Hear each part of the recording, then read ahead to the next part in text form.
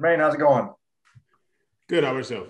Good. Uh, obviously, this is voluntary, and some folks have chosen not to attend. I'm curious, from your standpoint, why was it worthwhile to you to be in attendance, and, and, and why do you want to be here during this stage? Well, you know, uh, as an offensive lineman, uh, our group is all about camaraderie and uh, working together and getting our combinations and our, our communication together. So um, I, I, knew when we came up here, you know, they weren't going to run us into the ground. You know, we are going to be able to be uh, at a teaching place to start. And um, we've kind of ramped it up a little bit, but we're still uh, working smart. So uh, that's, you know, that's all we ever want is just to work smart and get better, but uh, still get our work in. Coach, Coach Nagy expressed admiration for for the unity that you guys have had as an offensive line. I'm curious, with all the lines you've been on, how do you how do you compare this and, and, and how do you describe what you guys got going right now? You know, we're we're a close knit group. We uh we we really we really care for each other. We do everything together. We you know we we try to be one heartbeat. We don't try to be individuals. And you know, unfortunately, on lines that can happen. But uh, our line here, I think we uh, me, Cody, James, and all of us with experience on the line uh, have really hammered that point home that we're all about unity and we're all about doing things together and having camaraderie. And we know that's going to feed into what we do on the field come the season and preseason. Larry Mayer. Hey, Germain, uh, what are your, some of your first impressions of Andy Dalton working with him as a player and a person? Um, you know, he's, he's, a veteran quarterback. He's a uh, he's a Texas guy. He's from Katy, so uh, we had that connection, and um, we hit it off immediately on that. And I'm always uh, happy about that. And I I do like the Texas Christian University. I have a lot of friends who've gone there, so it's been great getting to know him. Uh, as a quarterback, you know, consummate pro. He uh, he gets the ball out on time, which is uh, critical for a starting quarterback and critical for offensive linemen. Uh, he's just he's just a you know he's a he's a he's a leader of men and he's done it before. He's he's been in the fire and nothing phases him. So you love that in a quarterback, you know, that that veteran presence, and uh, he's he's just he's he's been everything we could have asked him to be. Thank you, Brad Biggs. Hey Germain, what's going on, man? Um, I'm curious. Did the coaches try to find a balance for for you guys as players by reducing OTAs by by one week? I, I think I think it's a good balance. I think uh, as we as we coming to 2021 after a crazy 2020, I think it's it's time to that we all start to adjust and start to you know just not do everything the old way. We can always adjust and get better and smarter, and it helps all parties. It's not you know it's not about coaches and control. It's not about players and not having to do long practices and all that. It's just about all of us getting better and it's just been it's been a great uh, it's been a great partnership. Uh, we have a, a lot of our offense here, and we've been able to we've been able to really get a lot of good work. And um, the extra week of teaching and uh, strength and conditioning was really good for us. Also, we we do appreciate that, and just being up here together, uh, like like uh, was mentioned before, the line being up here together, being able to work out together, and you know, just it's, it's, that time of year, and I, I, think a lot of guys around the league will have that same sentiment, just like being around the other guys, and that's, that's really what, what it's about this time of year. Was it odd seeing so many um, defensive guys not there today? I mean, there there were a grand. I know you're on the O line, but there were a grand total of three D linemen there. Yeah, you know, it's it's uh, you know, it's, it's everybody's choice. It's, it's all voluntary, so you know, we don't we don't we know those guys are going to be ready when they get here. We know there we have so many great pros on this team that played in so many big moments. We know they'll be ready uh, when they when they whenever they're here. We'll welcome them, and it'll be like they didn't miss a beat. You know, I've seen it my entire career. It's not the first year that uh, certain guys don't show up. You know, it's just everybody has their own things they need to deal with and do during the off season, and some guys have the leeway to be able to be up here. So it is what it is. We all, uh, when you know, when we all get together, we know when the bullets start flying, uh, our guys gonna be ready to go. Mark Potash. Hey Germain, uh, how do you feel about playing a 17th game uh, this season? There's, there's, you know, so much concern about injuries in the NFL. You'd think there'd be fewer games than more, but you've got one extra one. Just like to know how you feel about that, and do you guys as linemen talk about that because you're going to bear the brunt of uh, that? Uh, a lot of you guys. Yeah, it's you know it's different, it's an adjustment, but uh, you know you can you can kind of you know complain about it, pontificate about it all you want, but you know we have to do it, and we'll be we'll be fine doing it. Uh, we'll adjust. We, you know, we just have to do a good job taking care of our bodies because you know the goal is always to be playing 17, 18, 19 games. Sometimes sometimes just got to add a 20, 21 on there. So it's it's fine. Uh, you know, you complain about it and talk crazy about it, and that's all good banter. But at the end of the day, we'll be ready. And after the 16th game, we'll be like, oh, it's usually over after this, or we're going to the playoffs. But we'll we'll play a 17th, and we'll we'll enjoy it, and we'll we'll do a great job at it. Hub Arkush. Hey, Germain, I've got an O line question for you, but before I get there, real quick, I know it's just Zoom, but you look like you may be a little lighter this year. Have you changed your body type or your preparation at all?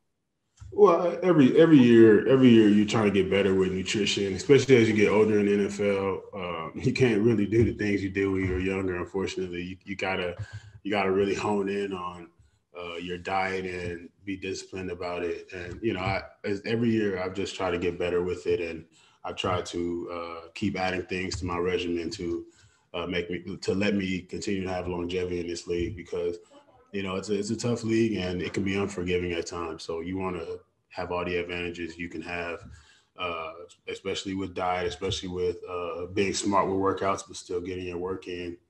Uh, we we just we just want to keep we just want to keep keep at it, and I think that's a, a, lot of guys say that as they get older. I had guys my rookie year telling me, "Hey, you, you know."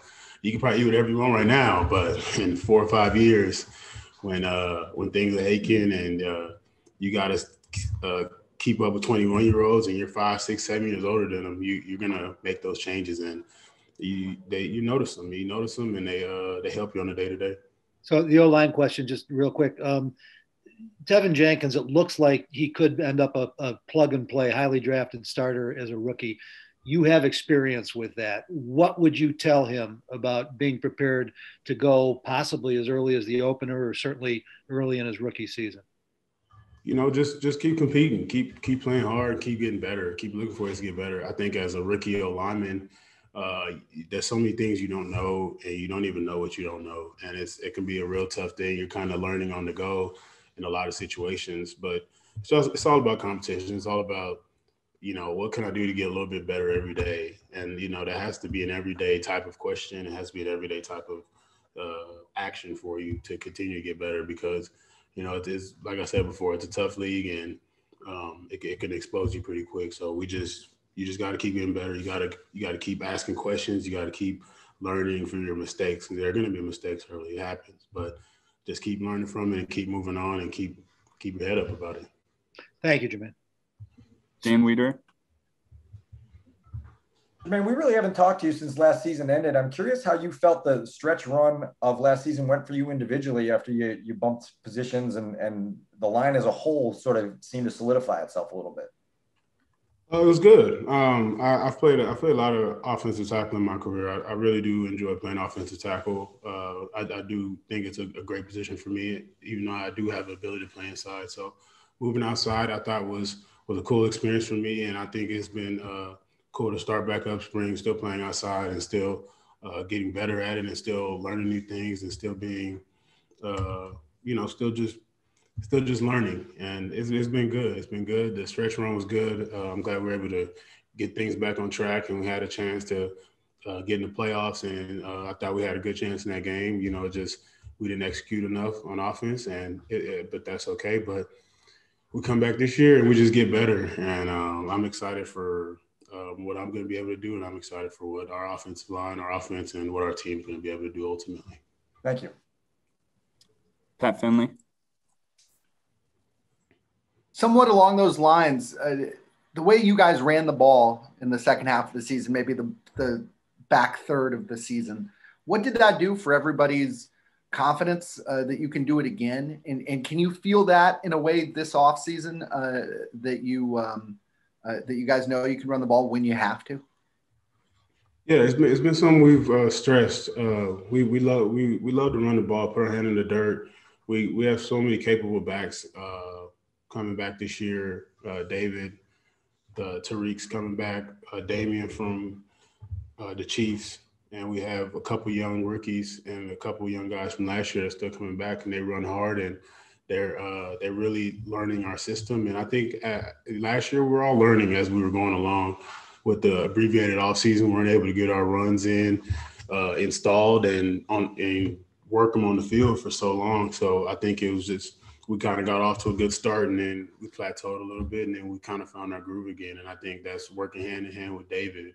We got comfortable. David got more comfortable and we're just getting more comfortable now. And we're not even where we want to be. And I thought we had some uh, pretty decent numbers on uh, in a lot of run categories. So we we know that we have so much ahead of us in, in that aspect. All right, we got time for a couple more. We'll go Colleen Kane, Mark Grote, and close it out with Joe Lewis. Colleen.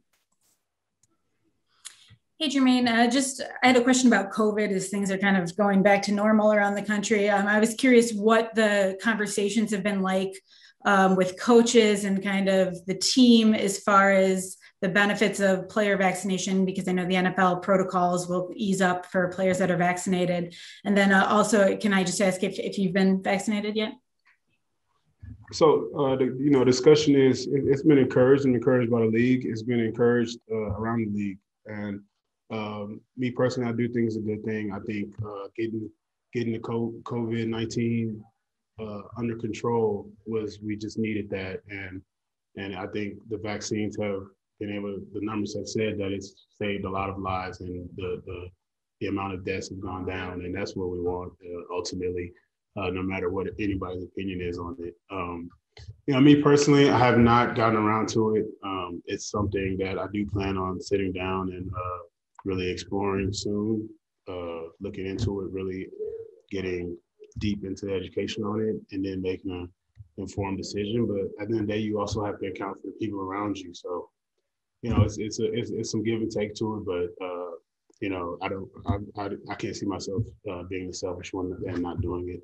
I think it's a, I think it's a good thing for for a lot of people to to do, and uh, I would I would encourage it. It's just you know, everybody has their views on it. Not, you know, but uh, with with the NFL and the protocols, you know, we don't love waking up every day and getting tested. We don't love, you know, having to wear a mask around the building all day. It's it's it, it can be it can wear on you a little bit. So, you know, some incentives never hurt. you know, incentives never hurt. Mark Grote. Hey, Germain. The, the last time we we spoke to your position coach Juan Castillo, he he said that he thinks that you can be a Pro Bowler. He was pretty adamant about it. What do you think when you hear that? I don't think he's wrong. Uh, I, I, think um, you know he knows me pretty well. He knows how I work. He knows um, my football IQ and what I've put into this game and what I've done uh, in my five years in the NFL. So you know, people can say what they want, and uh, and they will say what they want about me and what I've done in my career. But at the end of the day, um, you know, he's not wrong because he sees it every day, uh, even when I'm not around. Uh, we're we're constant communication, and we are uh, hand in hand in, in, me getting better, and that's what it's that's what it's been, and we've seen the results. So I'm not, I don't, I, I, I, I'm not surprised by anything he said because he he wholeheartedly believes it. I wholeheartedly believe it. You know, there's a lot of factors that go into that. But as far as being a, a consistent player and every, you know, uh, uh, one of the better linemen in the league, I don't think that's. I think that's the expectation. That's the expectation. That's my expectation. That's Coach Nagy. That's uh, Ryan's expectation. That's Coach Castillo's expectation. And and uh, I live and I and I try to live up to that every day for them because uh, they took a chance on me and they believed in me and and I'm going to give them uh, everything I got. Joe Lewis. Yeah, earlier, um, Andy talked about being a mentor to Justin Fields. You're in a similar situation as you have younger linemen like Teven Jenkins and Larry Borom.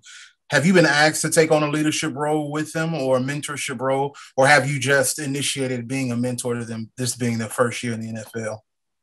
As no, you know, going in going into year six as an older guy, I've, I've had guys before me that took me under their wing, and it, it's just what you do. It's it's not about oh I'm not going to push this guy aside because I don't want him to get better. I want him to get better. I want him to. We can all we can all eat. It's not a me or him or anybody else, another person. I think everybody is just here trying to get better and have fun with it and and make a make a living for their family. And once you take that approach, you know, it's always about, all right, how, how do I bring somebody along? How do I how do I make somebody a little better today? Make make their existence in you know in this tough league a little better because it can be unforgiving. It can be, you know, it can be a little brutal. So you know, just you keep bringing them along and you keep you encourage them and you and you, you do it the right way. You do it the right way, good things happen for